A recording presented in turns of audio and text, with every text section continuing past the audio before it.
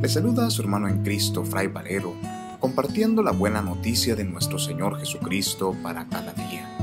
Reflexionamos hoy el Evangelio según San Lucas, capítulo 19, versículos del 45 al 48, correspondiente al viernes de la 33 semana del tiempo ordinario. Aquel día, Jesús entró en el templo y comenzó a echar fuera a los que vendían y compraban ahí, diciéndoles, está escrito, mi casa es casa de oración, pero ustedes la han convertido en cueva de ladrones. Jesús enseñaba todos los días en el templo. Por su parte, los sumos sacerdotes, los escribas y los jefes del pueblo intentaban matarlo, pero no encontraban cómo hacerlo porque todo el pueblo estaba pendiente de sus palabras. Palabra del Señor, gloria a ti Señor Jesús. En el Evangelio de hoy encontramos el conocido pasaje de Jesús que al llegar a Jerusalén expulsa a los vendedores del templo. Y en esta versión del evangelista Lucas podemos subrayar dos aspectos. El primero es la proclamación de Jesús de que el templo es la casa de Dios y por tanto es casa de oración.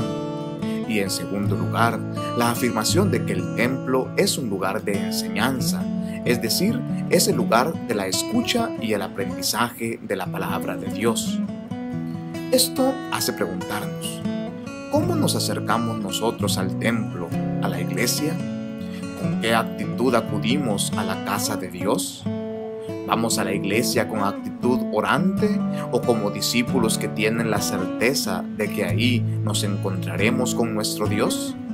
¿O vamos con la actitud de los mercaderes y cambistas que únicamente intentan comercializar la fe?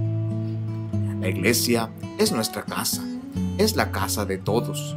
Ella es nuestra madre y por tanto le debemos respeto. Ella nos acoge, nos consuela, nos protege y nos ama. Nos manifiesta el amor gratuito de nuestro Dios.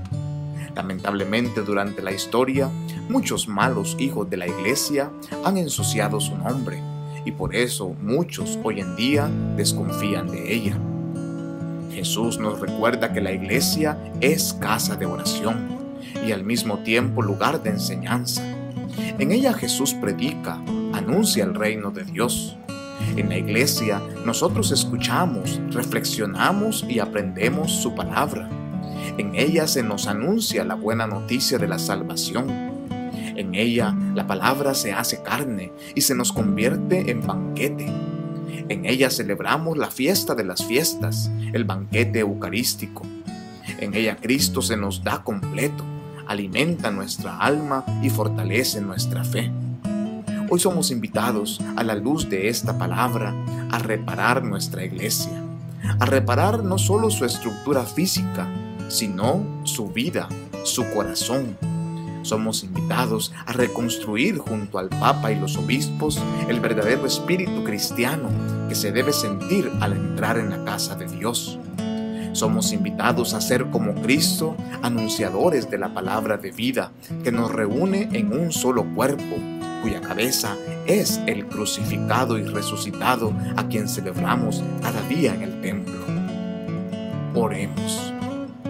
Señor Dios, que mediante la gracia de la adopción filial quisiste que fuéramos hijos de la luz, concédenos que no nos dejemos envolver en las tinieblas del error, sino que permanezcamos siempre vigilantes en el esplendor de la verdad te lo pedimos por Jesucristo, tu Hijo, nuestro Señor. Amén.